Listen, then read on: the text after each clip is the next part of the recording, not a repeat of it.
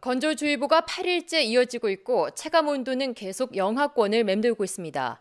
이런 날씨 속에 대형 산불은 물론이고 난방 기구로 인한 각종 화재가 잇따르고 있습니다. 유영재 기자가 취재했습니다.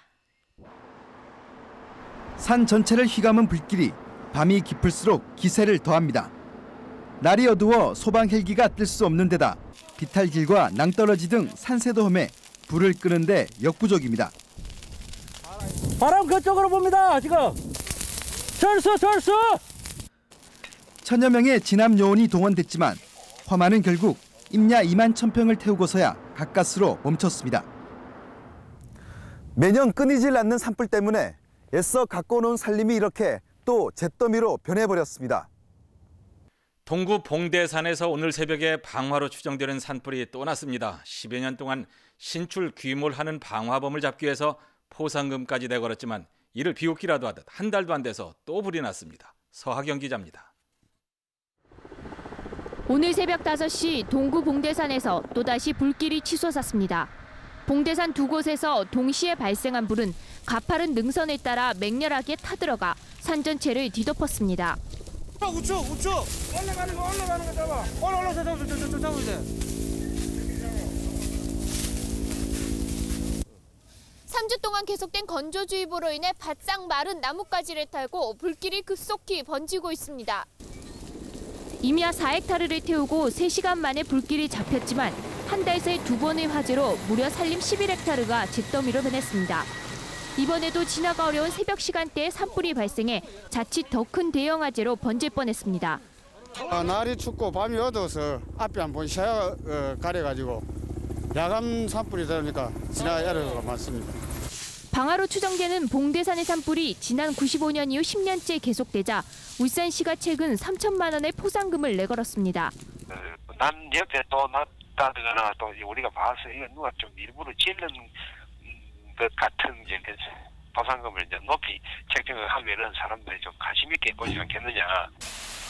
그러나 이를 비웃기라도 하듯 지난 13일 산불에 이어 한 달도 안 돼 또다시 불이 발생한 것입니다.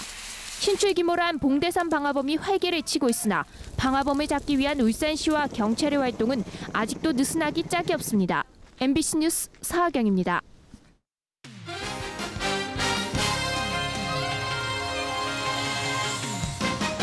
동구 봉대산에 또 산불이나 소중한 살림이 잿더미로 변했습니다. 방화범에 대한 현상금 1억 원에 입산 전년 통제까지 이뤄졌지만 산불을 막기에는 역부족이었습니다. 이동욱 기자가 보도합니다.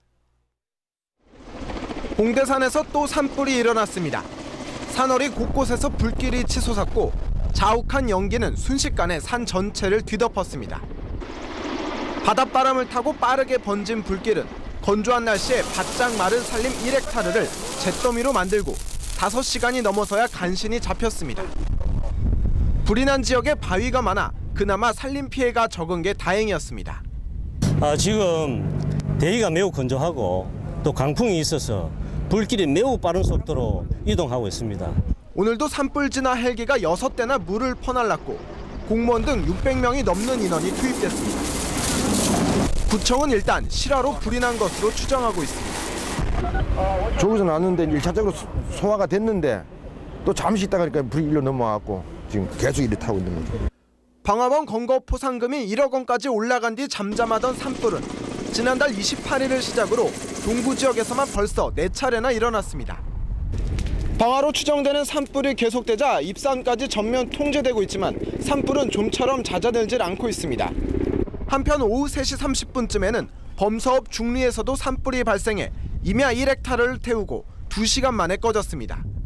MBC 뉴스 이동욱입니다. 안녕하십니까. 이어서 울산에서 전해드리겠습니다.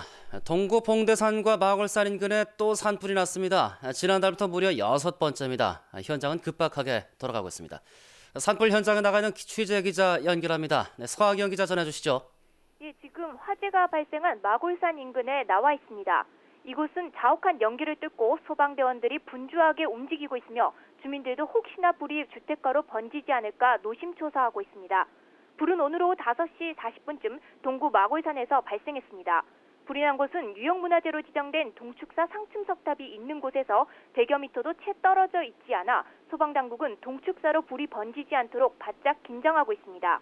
밤이 깊어지면서 바람도 강하게 불고 날이 어두워 헬기가 뜨지 못해 산 중턱에서부터 시작된 불은 산 아래로 번지고 있습니다. 때문에 현재 소방대원과 구청 직원들은 인근 주택가로 불이 번지지 않도록 방화선을 구축해 놓고 있는 상태입니다. 불이 나자 소방차 10여 대와 공무원 300여 명이 비상 출동했지만 산이 가파르고 도로 입구가 좁아, 좁아 진화에 어려움을 겪고 있습니다. 동구 지역에는 지난달 13일부터 무려 6차례 방화로 추정되는 산불이 발생했습니다. 이에 따라 동구청은 3천만 원의 포상금과 함께 야간 매복까지 실시했지만 이를 비웃기라도 하듯 오늘 또다시 화재가 발생한 것입니다. 지금까지 마골산 산불 현장에서 MBC 뉴스 서하경입니다. 어제 오늘 동구 연포산에서 또 산불이 났습니다. 방화범은 비웃듯이 한 달에 여섯 번이나 활개를 치고 있지만 매번 뒷북만 치고 있습니다. 서하경 기자입니다. 이번에는 봉대산이 아닌 연포산이었습니다. 어젯밤 산꼭대기 두 곳에서 동시에 발생한 것으로 보아 방화로 추정됩니다. 산불 발생 시간도 지난번과 마찬가지로 어둠이 깔리는 시간대였습니다. 앞 뒤쪽 산 정상 약 200m 지점에서 동시적으로 발생된 것으로 미루어 지난 봉대산 산불처럼 누군가에 의해서 방한 것으로 저희들은 추정하고 있습니다. 지금까지 동구 지역의 산림 13헥타르가 잿더미로 변했습니다. 이곳 봉대산 일대를 중심으로 한 달 새 방화로 추정되는 산불이 무려 6건 이상이나 발생했습니다. 매년 발생하는 산불에 주민들은 방화범을 하루빨리 검거할 것을 요구하고 있지만 방화범 수사는 제자리 걸음입니다. 아 자꾸 이런 일이 해마다 거의 해마다 생기고 있잖아요. 이게 좀 두렵기도 하고. 동구청은 3천만 원의 포상금에 야간 매복까지 실시하지만 방화범을 잡기에는 역부족입니다. 넓은 봉대산을 감시하는 산불 감시 카메라는 한 대뿐.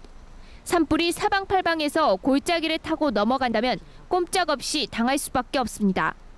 파출소에서 순경들이 또 두 사람씩 또 올라갑니다. 네, 그런데도 어디로 빠져나가는지. 뭐 옛말에 뭐 도둑 하나 뭐 경관 열 명이 못 잡는다 하더만 그거하고 똑같아요 지금. 동구 방화범이 올해도 활개를 치고 있지만 방화범의 행적은 여전히 오리무중입니다. MBC 뉴스 서하경입니다. 겨울철 방화로 추정되는 산불이 자주 발생하는 동구 봉대산에서 오늘 오전 대규모 산불 진화 훈련이 실시됐습니다. 동구청은 유사시에 신속하게 대응할 수 있도록 소방서, 경찰과 합동으로 산불 진화 헬기까지 동원해 실제 산불 발생과 유사한 상황을 가정해 산불 진화와 인명 구조 등의 훈련을 실시했습니다. 동구 봉대산 일대에는 최근 수년 동안 수십 차례 방화 추정 산불이 발생해 방화범에 최고 3억 원의 현상금이 걸려 있습니다. 현상금 3억 원이 걸린 봉대산 다람쥐로 의심되는 남자가 목격됐지만 검거에는 실패했습니다. 지난 8일 오후 동구 봉대산 등산로에서 40대 후반으로 추정되는 한 남성이 정화 활동을 하던 환경단체 회원들과 마주치자 손에 쥐고 있던 검은색 비닐봉지를 버리고 달아났습니다. 경찰은 비닐봉지에 착화탄과 라이터가 들어 있었던 점으로 미뤄 이 남자가 봉대산 방화범일 가능성이 높다고 보고 봉지에서 지문을 채취하는 등 수사에 박차를 가하고 있습니다. 여러분 안녕하십니까? 16년간 무려 100차례 가까이 산에 불을 질러온 50대 남자가 경찰에 붙잡혔습니다. 3억 원의 현상금이 붙은 봉대산 불다람쥐 잡고 보니 한 기업의 직원이었습니다. 이도누 기자입니다. 한 남자가 아파트 근처 야산에서 태연히 걸어 나옵니다. 잠시 후 갑자기 불길이 치솟기 시작합니다. 이렇게 상습적으로 불을 질러온 51살 김모 씨가 16년 만에 경찰에 붙잡혔습니다. 김 씨는 지난 1995년부터 90여 차례 울산 봉대산과 마골산에 불을 질러온 혐의를 받고 있습니다.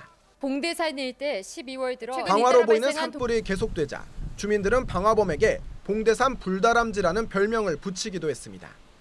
울산시는 3억 원의 현상금까지 걸었습니다. 네, 자주 날 때는 뭐 일주일에 주말에 뭐 한두 번씩 달아서 계속 나기도 하고 어떨 때는 한 달에 뭐 10건 이상도 난 적도 있었고 김 씨가 지른 불로 인한 피해는 지금까지 집계된 것만 55헥타르. 이 일대 산 곳곳이 황무지로 변했습니다. 시커멓게 그을린 채 남아있는 나무에서는 아직까지도 이렇게 검은 산불의 흔적이 묻어납니다. 대기업에 다니는 김 씨는 금전적인 문제로 가정 불화를 겪자 스트레스를 풀기 위해 불을 질렀다고 진술했습니다.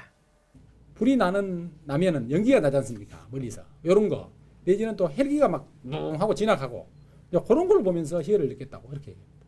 또 저녁에 TV에 나오고 막 이런 걸 보면서 낮에는 평범한 직장인으로 밤에는 방화범으로 10년 넘게 살아온 김 씨는 폐쇄 회로 화면에 촬영돼 잡히고 말았습니다. MBC 뉴스 이동욱입니다. 일명 봉대산 불다람쥐의 연쇄 방화 사건 현장 검증이 오늘 동구 봉대산 일대에서 진행됐습니다. 피의자는 담담한 태도로 범행을 재현했습니다. 유희정 기자가 보도합니다. 90번도 넘게 산에 불을 지르다 붙잡힌 피의자 김모 씨. 처음으로 불을 냈던 곳을 18년 만에 다시 찾았습니다. 시작은 우연이었습니다. 속상한 일이 있어 집 근처 산에 올랐다가 홧김에 불을 낸 겁니다. 뭐 소나무 같은 게 있었거든요. 그 소나무 가지고 그것도 끊어가지고 때리니까 때리니까 저 바람이 약간 부니까 탁 번지고더라고요. 타오르는 불길에 두려움을 느끼면서도 스트레스가 사라지는 듯한 기분을 맛본 김 씨. 그때부터 기분이 좋지 않을 때면 회사에서 일을 하다가도 한밤중에도 산을 찾아 불을 질렀습니다. 풀을 묶고 불을 지르고 나서 풀이 깨면은 실제로 정신병원에까지 치료를 한번 받아볼까 이런 생각을 했는데 자기가 너무 큰 잘못을 저질렀기 때문에 현장 검증 과정을 지켜본 담당 공무원은 김 씨의 치밀함에 혀를 내두릅니다. 아 신경 쓸 여가 없고요. 불 끄는데 연기 마서 줄 뻔하고요. 말도 말합니다. 김 씨는 자신의 범행으로 누를 끼쳐 죄송하다면서도 몇몇 산불에 대해서는 혐의를 완강하게 부인하고 있습니다. 경찰은 현장 검증을 토대로 김 씨의 나머지 범행에 대해서도 조사하는 등 보강 수사를 할 예정입니다. MBC 뉴스 유희정입니다. 봉대산 불다람쥐가 잡혀 산불 걱정은 덜었지만 범인 검거 과정을 두고 논란이 일고 있습니다. 범인 검거에 중요한 역할을 한 시민 제보가 수사 결과 발표 때 공개되지 않았기 때문인데 경찰들이 결국 징계를 받을 처지에 놓였습니다. 이동욱 기자입니다. 한 남자가 산에서 걸어 나온 뒤 불길이 치솟는 아파트 CCTV 화면. 일명 봉대산 불다람쥐 검거에 첫 단 추가된 결정적 증거물이었습니다. 이 화면은 아파트 관리소장이 발견해 경찰에 제보했는데 경찰이 수사 결과 발표해서 이를 숨기고 공을 가로챘다는 주장이 제기됐습니다. 막 우리 아파트에 대해서는 전혀 모르고 그 뭐 이렇게 언급도 하나도 안 됐고 뭐 그런 부분이 좀 섭섭하죠. 방화범의 흔적은 지난 12일 불이 났던 아파트 CCTV에 그대로 담겼습니다. 문제는 당시 화재로 기계 결함이 발생해 영상을 확인할 수 없었다는 점. 경찰은 영상 복원을 요청하고 기다리는 사이 단지 관리소장이 이 장면을 먼저 발견했을 뿐이어서 특별히 공개를 하지 않았다고 해명했습니다. 하지만 경찰은 논란이 커지자 누락 사실을 공식 사과하고 담당자에 대한 징계 의사를 밝혔습니다. 그런 가오에 대해서도 감찰 조사를 해가지고 잘못된 부분이 있으면은 이거 징계 등의 상한 조치를 하려고 합니다. 경찰 지도부가 제보를 공식 인정했지만 포상금 3억 원을 받는 데는 아직 난관이 많습니다. 방화범의 실형이 확정돼야 지급이 되는 데다 시청의 심사를 통해 지급 액수가 결정되기 때문입니다. 방화범의 행적과 인적 사항을 확인하는 데 도움을 준 다른 아파트 CCTV도 많다는 점도 고려될 부분입니다. 16년 동안 무수한 기록을 쏟아냈던 봉대산 불다람쥐 사건을 둘러싼 논란의 불길은 당분간 사그러들지 않을 것으로 보입니다. MBC 뉴스 이동욱입니다.